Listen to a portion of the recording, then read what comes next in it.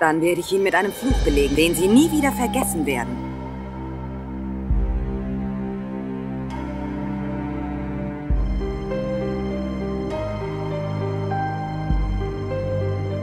Devin hat mir alles erzählt.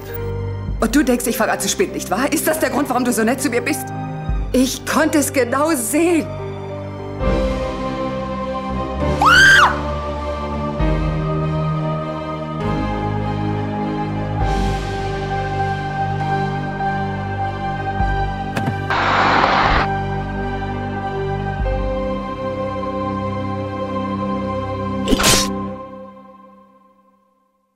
Sind Sie in Ordnung? Ihr Puls und Ihr Atem sind schlagartig gestiegen. Ich bin in Ordnung. Hier drinnen ist nur etwas zu viel Halloween.